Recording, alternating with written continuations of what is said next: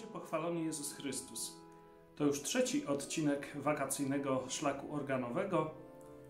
Pragniemy Państwu w tym odcinku zaprezentować największy, czynny, romantyczny instrument, jaki znajduje się na terenie diecezji zielonogórsko-gorzowskiej.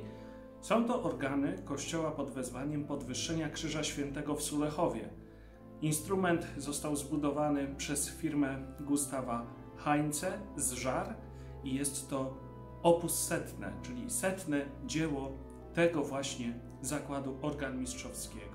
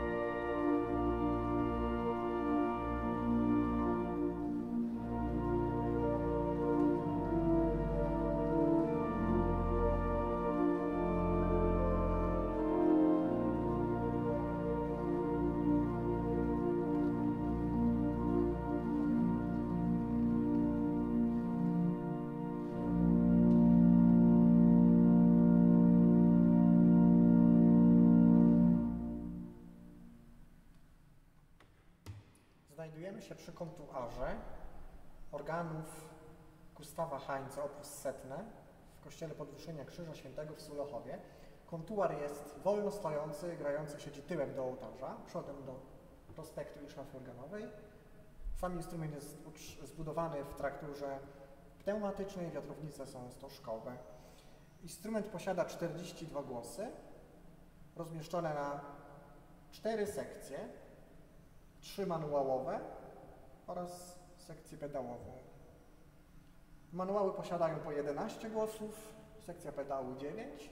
W każdym manuale znajduje się głos językowy, głos 16-stopowy oraz głos wielochórowy. Może od początku zaprezentuję głosy pryncypałowe. W pierwszym, drugim i trzecim manuale. W pierwszym manuale jest to pryncypał, po prostu pryncypał główny, w manuale drugim jest to pryncypał fletowy, w takim odcieniu fletowym, natomiast odcień pryncypału w manuale trzecim będzie skrzypcowy.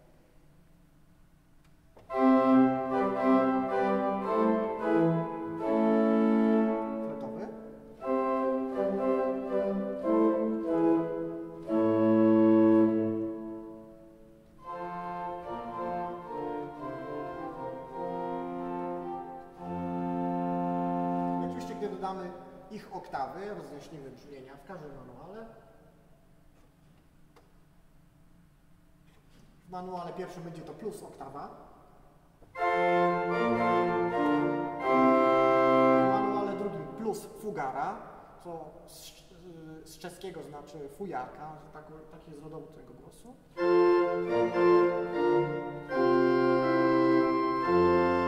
W manuale trzecim wiolinę.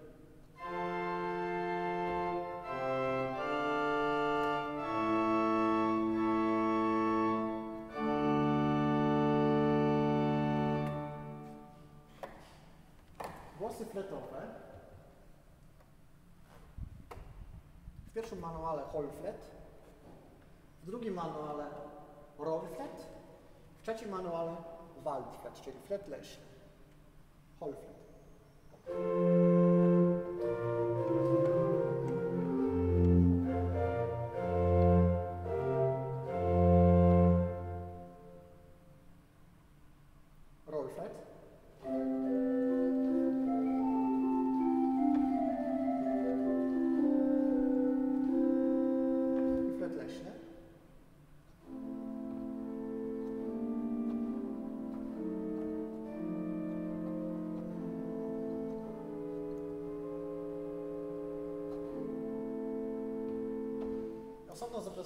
Głosy fletowe, ale czterostopowe, czyli brzmiące oktawę wyżej, troszeczkę inaczej zintonowane, delikatniejsze. W pierwszym manuale jest to flet otwarty.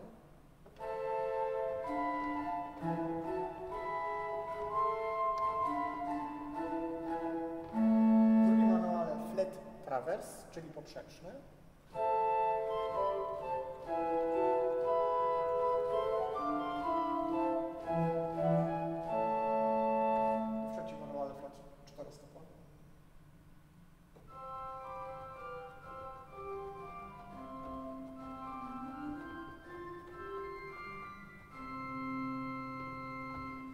Te flety 8-4 połączymy,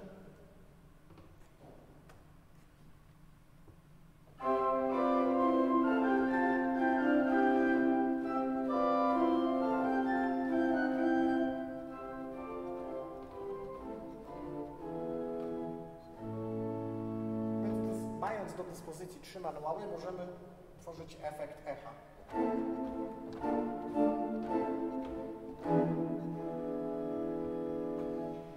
Manuale dodatkowo mamy jeszcze głos dwustopowy, jest to flet piccolo.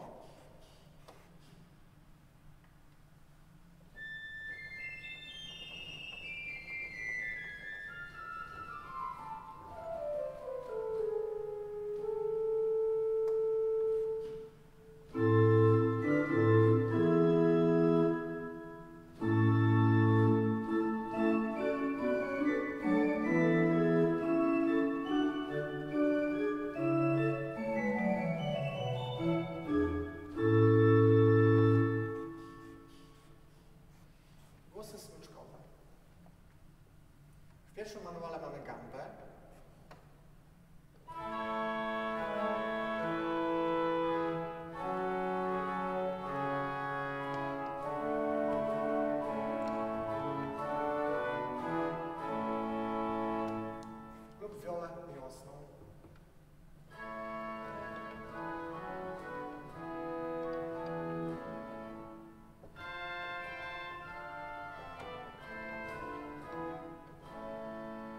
drugim manuale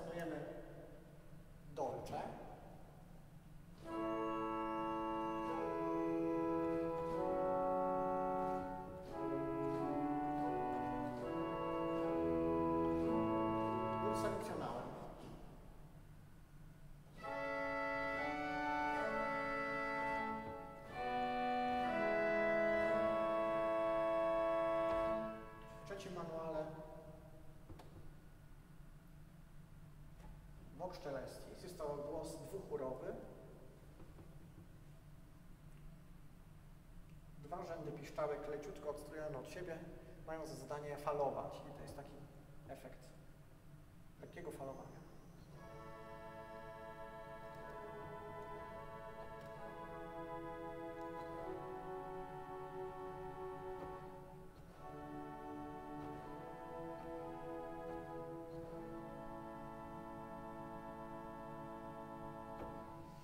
Wspominałem, w każdym manuale jest również e, głos 16-stopowy. W pierwszym jest to burdą, w drugim kwintatą 16, a w trzecim redakt.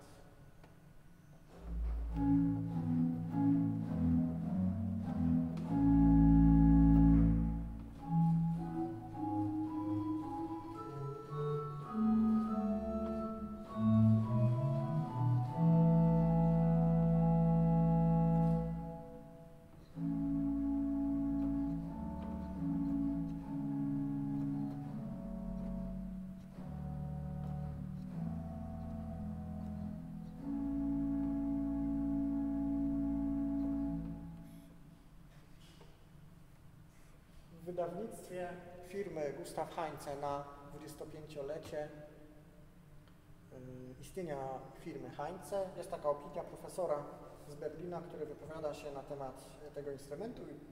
Jest tam zapisane takie zdanie, że instrument posiada wiele głosów charakterystycznych, a sam nadaje się zarówno do liturgii, jak i do celów koncertowych.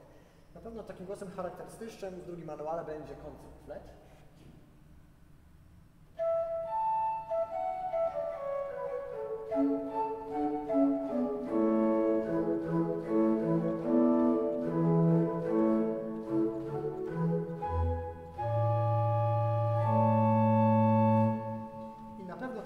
Charakterystycznym w trzecim manuale będzie harmonia ateria czterorzędowa.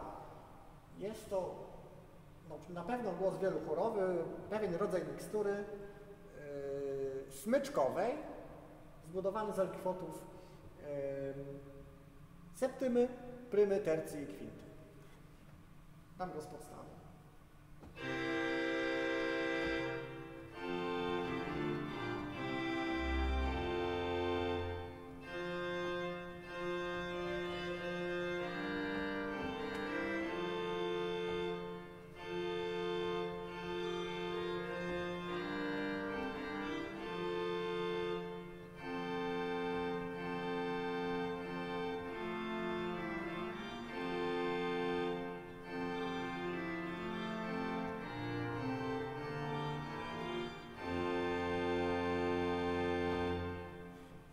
Każdy manuał jest jakby osobnym instrumentem, osobną sekcją. I teraz zademonstruję pleno każdego manuału. Pleno, czyli pełnię, całość. Ale na razie jeszcze nie użyję głosów językowych, o których powiem za chwilkę.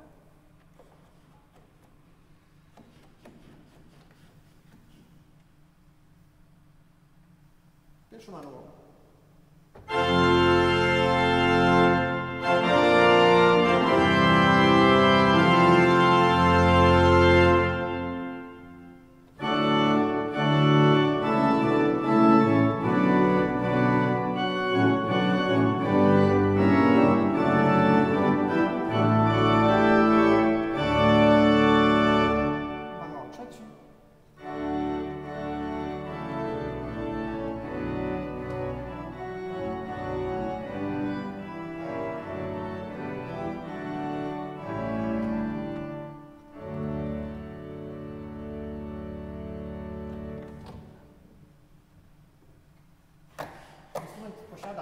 Posiada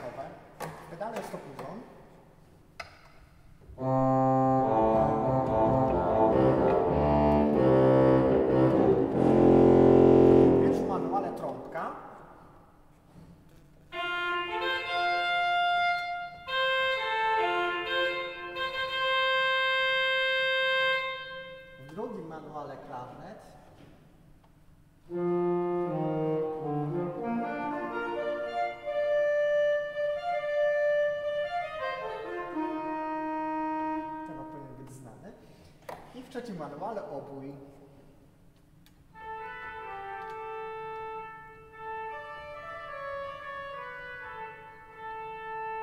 Gdy połączymy same głosy językowe, taki chór można stworzyć.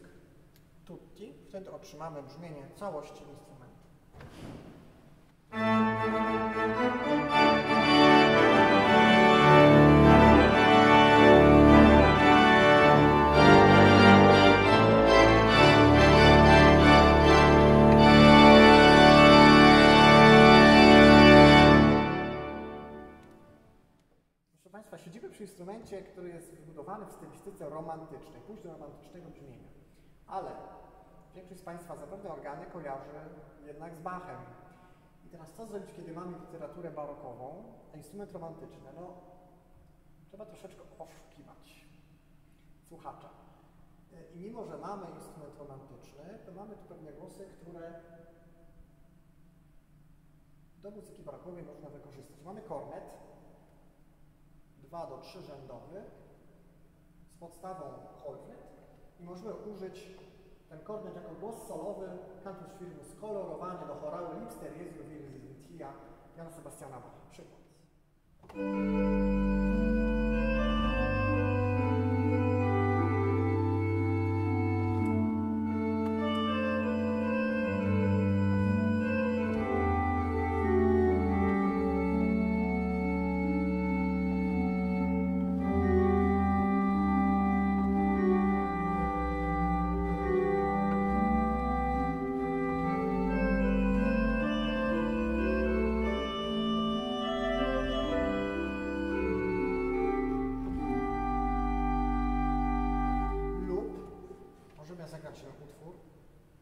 W stylistyce romantycznej jednak.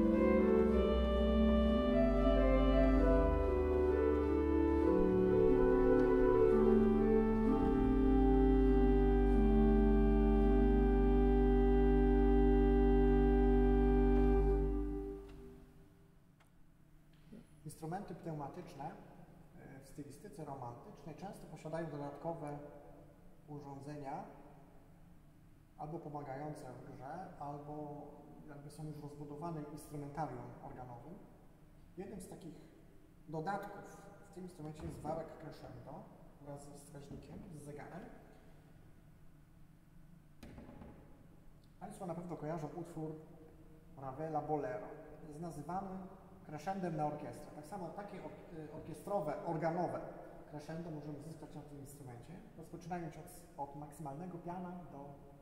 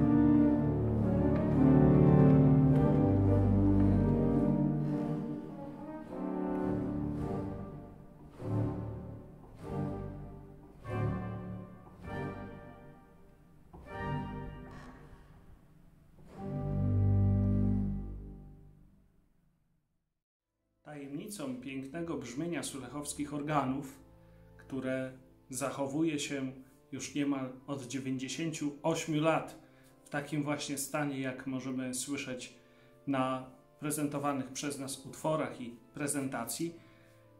Tajemnicą tego brzmienia, tak pięknego i jednocześnie tak dobrze zestrojonego, jest codzienna troska tych wszystkich, którzy wokół tego instrumentu się gromadzą na co dzień. Przede wszystkim troska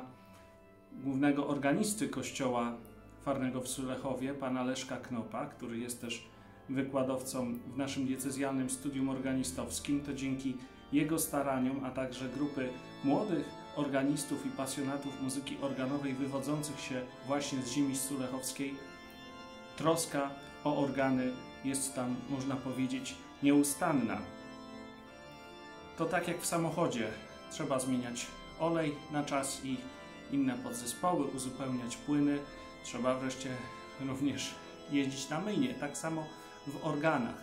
Ważne jest, aby utrzymywać właściwą czystość wnętrza instrumentu, aby dostrajać poszczególne głosy, w szczególności głosy języczkowe, które dość często się rozstrajają. I właśnie teraz pokażemy, jak wygląda takie przygotowanie do instrumentu do nagrania. Oczywiście pokrótce, bo cały proces strojenia instrumentu to czasami nie tylko kilka godzin, ale i nawet kilkanaście dni, jeśli byśmy chcieli każdy głos po kolei naprawdę perfekcyjnie nastroić.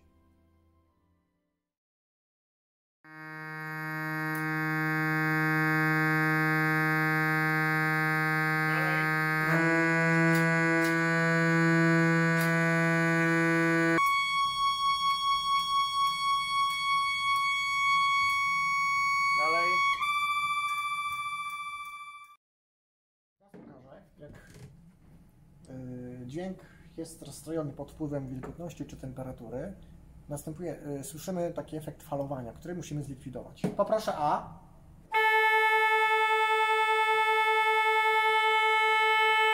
Dzięki.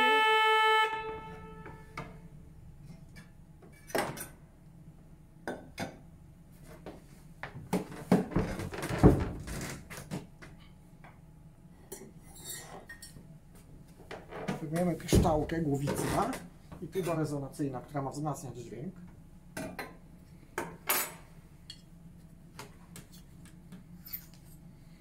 I tutaj w środku mamy taki malutki języczek, nie wiem czy on będzie widoczny w kamerze. Mm, Może takiegoś, o teraz chyba go widzimy.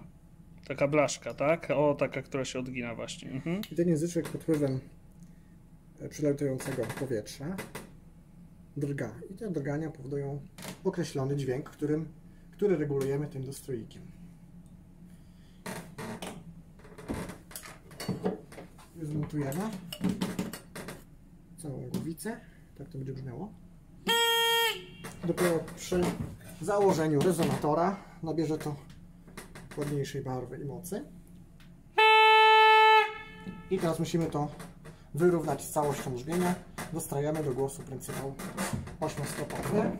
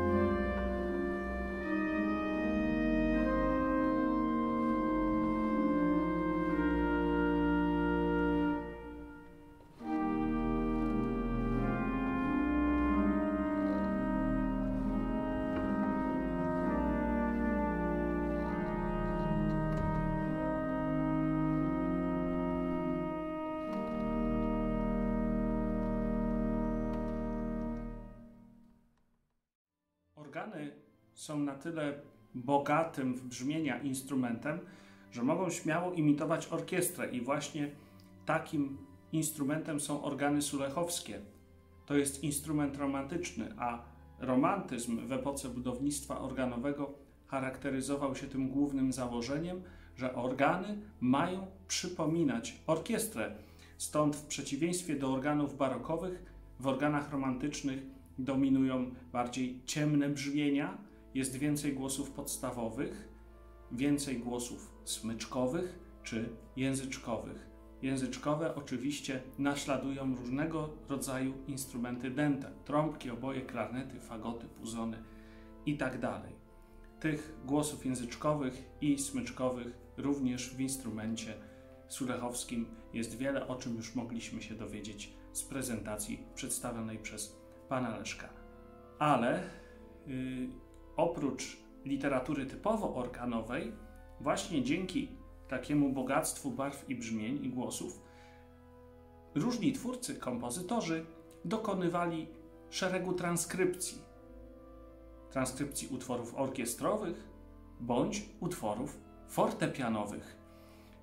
Transkrypcją utworu, przykładem transkrypcji utworu fortepianowego są wariacje poważne Feliksa Mendelssohna. Jest to utwór fortepianowy, ale y, równie dobrze został przełożony na fakturę organową, co zaprezentuje Michał Kocot właśnie w tym utworze, wariacje poważne Feliksa Mendelssohna.